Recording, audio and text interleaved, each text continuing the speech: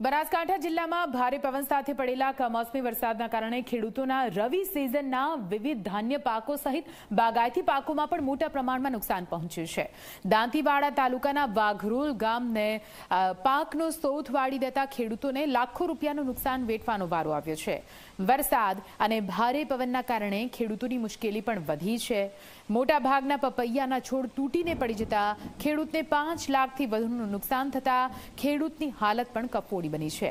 જેથી ખેડૂત હવે સરકાર પાસે નુકસાનનું યોગ્ય વળતર મળે તેવી માંગ કરી રહ્યા છે. પપૈયાની ખેતી કરેલી હતી ચૌદ વીઘામાં. કાલે જે વરસાદ થયો કમોસમી, તેના લીધે પપૈયાના છોડ ભાગીને પડી ગયા છે. સતત દસ મહિનાની મજૂરી કરી, રાત દિવસ ઉજાગરા કર્યા.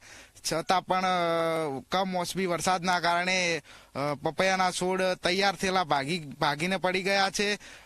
અમે હવે દીવાદાર થઈ ગયા છે.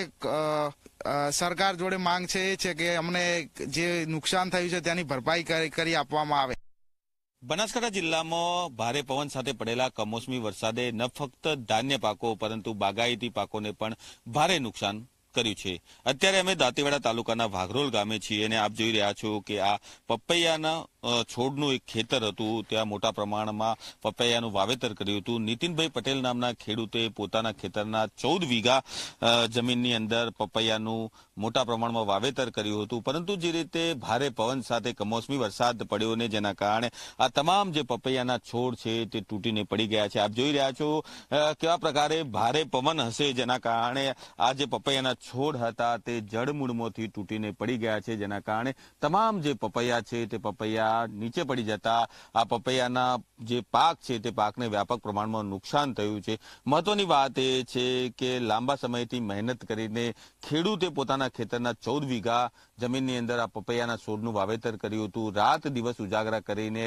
આનું જતન કર્યું હતું. જોકે હવે પપૈયાનો પાક છે તે તૈયાર થઈ ગયો હતો, પરંતુ અચાનક જ ભારે પવન સાથે કમોસમી વરસાદ આવતા તમામ જે પપૈયાનો છોડ છે તે છોડનું નિકંદન છે તે નીકળી ગયું છે ને ખેડૂતને મસમોટું નુકસાન ભોગવવાનો વારો આવ્યો છે. જેવી રીતે બનાસકાંઠા જિલ્લાના તમામ તાલુકા મથકોની અંદર જે ધાન્ય પાકોને વ્યાપક પ્રમાણમાં નુકસાન થયું છે, તેવી જ રીતે બાગાયતી પાકોને પણ ભારે નુકસાન થયું છે, જેને લઈને આ જે કમોસમી વરસાદ છે તે બનાસકાંઠા જિલ્લાના ખેડૂતો માટે ક્યાંક ને ક્યાંક આફત લઈને આવ્યો છે.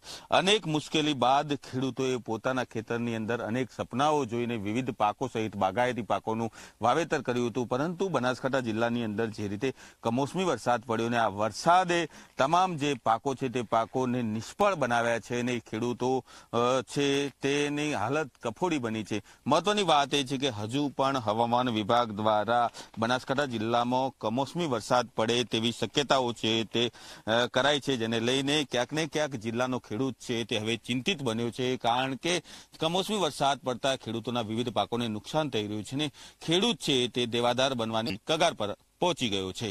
Alkesh Rao, Zee media.